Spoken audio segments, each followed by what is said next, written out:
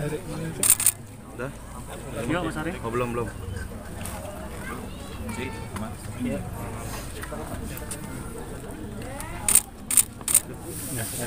Baik. Biarin deh.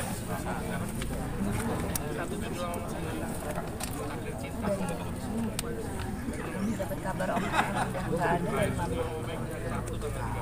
gitu eh, di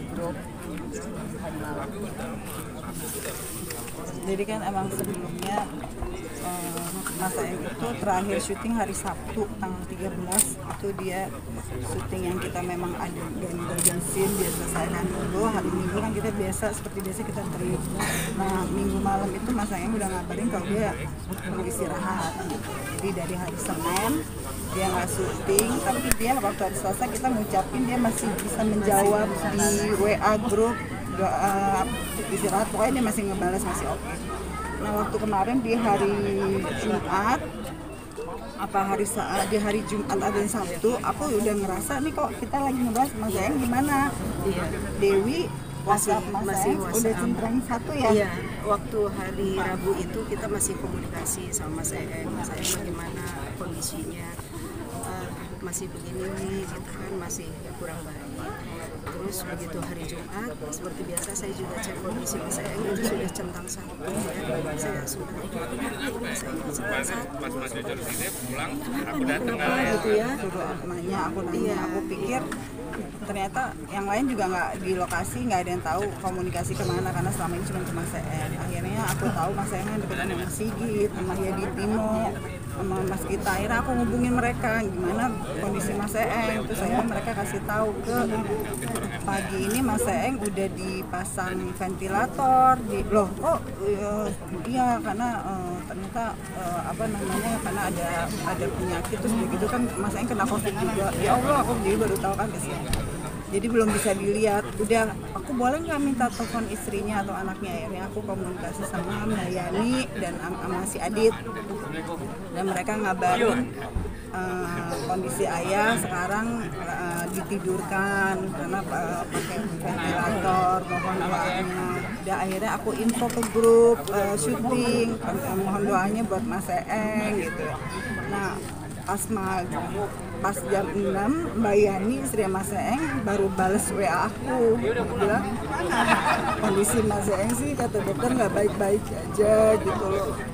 Ya eh, tapi dia eh, apa masih bisa pipis sendiri tanpa alat bantu.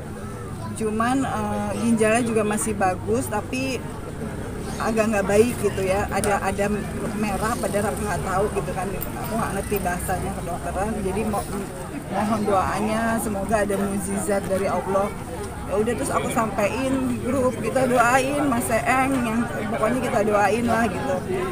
Dan emang saat itu tadi malam itu tahu-tahu pas habis Mas Eeng mm, Mbak Yani yang langsung WhatsApp aku innalillahi wa inna ilaihi rajiun aku langsung kepikiran. Nah, aku dengan innalillahi aku forward ke grup. Terus aku sambil telepon Mbak Yani ya Mas Eeng baru aja meninggal.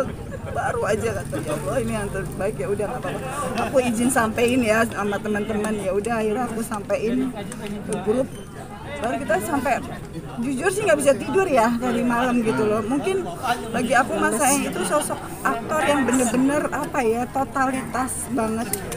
Sampai di di akhir hayatnya dia tetap nggak pernah ngeluh.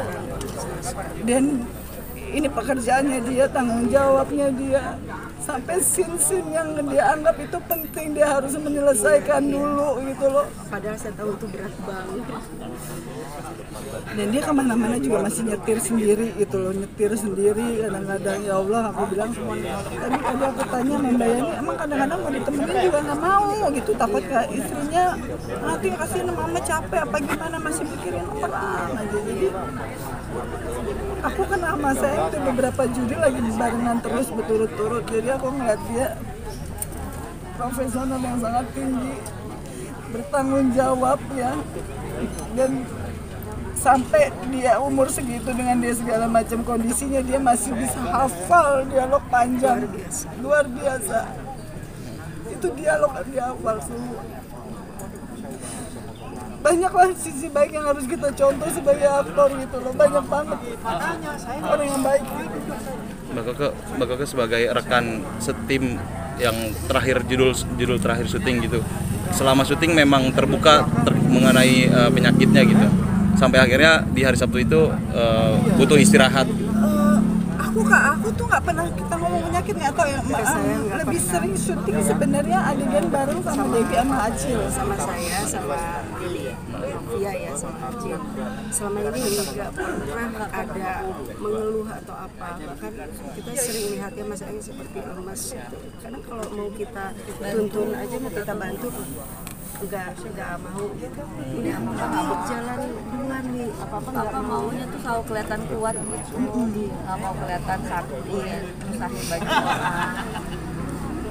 Jadi ya kita pasti cuma kita pantau aja dari jauh apa jalan nggak pernah ngedumel nggak apa ya kalau nunggu juga diem aja ayo mulai gitu aja gitu Waktu itu pernah jatuh juga kan langsung bangun lagi Iya, pernah syuting jatuh ke sangkar kabel tapi dia bangun loh. Dia bangun. bangun malah kita Dia yang bilang "Ah, nggak apa-apa nggak apa-apa. Aku sepakat. Aduh, aduh Mas Eng jangan sampai jatuh di lokasi kenapa-napa. Kadang-kadang pernah kepikiran begitu malah malah nggak sangka begini gitu loh eh, pergi dengan cara seperti ini gitu.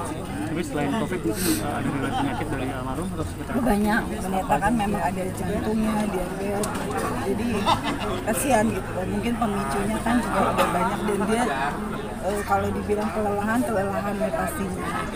Tapi eh, nggak mungkin gini loh eh, kalau dia tahu kita tahu semuanya dia aduh kayaknya nggak kuat istirahat kan. Tapi kan dia nggak pernah ngomong. Dia merasa dia punya tanggung jawab di sini dia sudah kontrak gitu. Jadinya ya itu dia orang yang nggak pernah aku capek ya pak. Nggak nggak pernah ngeluh. Dan masih iya sangat profesional. Itu yang luar biasa yang mungkin banyak rekan-rekan teman-teman yang lain juga pada kaget. Dan pada nggak kalau kita kan tahu kondisinya dia sakit seminggu ini nggak syuting. Tapi yang lain kan dipikir kan masih ada tayangan kok tau meninggal gitu. Kalau kita karena kita tahu kan gitu. Jadi sangat mengagetkan juga dan begitu cepat ya mak begitu cepat. Karena ini belum lama juga papa tuh masih waktu aku sempat sakit juga papa kontak aku nanyain kamu katanya sakit ya nak ya? Udah kamu nggak usah syuting istirahat yang penting kamu sehat. Terus pas papa sakit juga aku langsung kontak. Papa cepet sembuh segala macam. Iya anakku sayang makasih ya jadi aku tuh sama om Eng tuh bener-bener udah kayak sama papa sendiri. Iya kayak sama papa sendiri om Eang makanya kaget banget sih buat kita di sini. Keluarga TCK keluarga besar TCK tuh udah udah kayak keluarga. banget semuanya gitu. Jadi merasa benar-benar sedih kehilangan banget gitu Artinya almarhum meninggal di usia yang keberapa Mbak Dian waktu itu? 60 dua enam dua enam tiga kalau nggak salah ya mama saya Kasih Oke, doanya dan Iya. ucapan duka. semoga masa ini husnul khotimah diterima dan dimohon maaf kalau memang ada salah